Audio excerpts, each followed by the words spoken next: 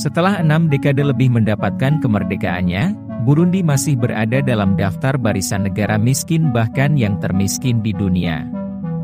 Berdasarkan data Global Finance Magazine, Burundi digolongkan sebagai salah satu negara termiskin di dunia, di mana sebanyak 82% penduduknya memenuhi kebutuhan hidup hanya dengan uang sebesar setara 17.500 per harinya.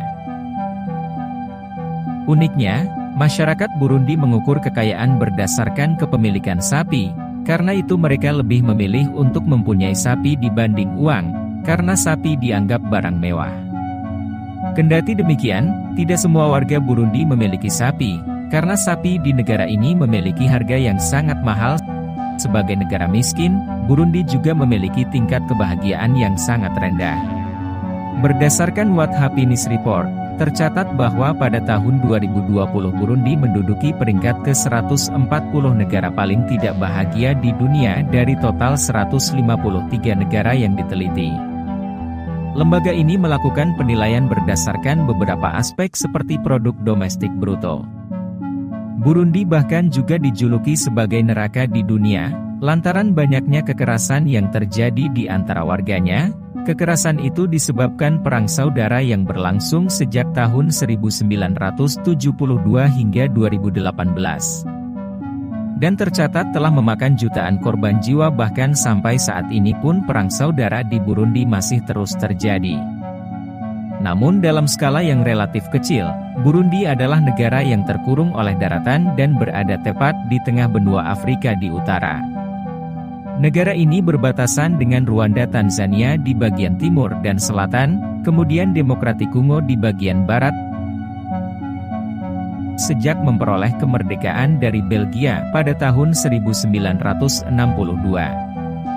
Keadaan Burundi seolah tidak bergerak ke mana pun, sejak merdeka, negara ini telah mencatat lima perang saudara yang telah merenggut lebih dari 500 ribu nyawa.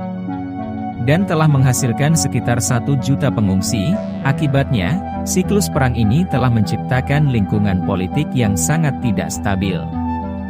Konflik yang seolah tidak pernah menemukan titik penyelesaian, menjadi penyebab terhambatnya sektor pertanian yang merupakan tulang punggung ekonomi di mana 90% dari total penduduk Burundi sangat bergantung pada sektor pertanian untuk mata pencaharian.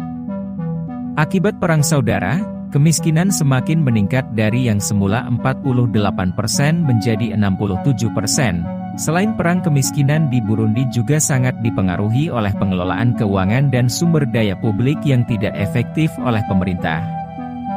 Pemerintah mengambil properti pribadi dari warganya, mereka mensubsidi bahan bakar listrik bersubsidi, mempengaruhi harga melalui badan usaha milik negara dan program dukungan pertanian.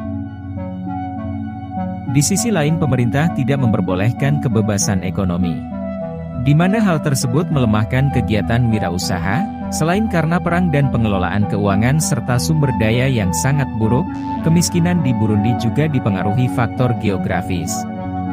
Secara geografis, Burundi terkurung oleh daratan dengan populasi yang terus meningkat, sehingga tanah pun menjadi sumber konflik terbesar di negara ini.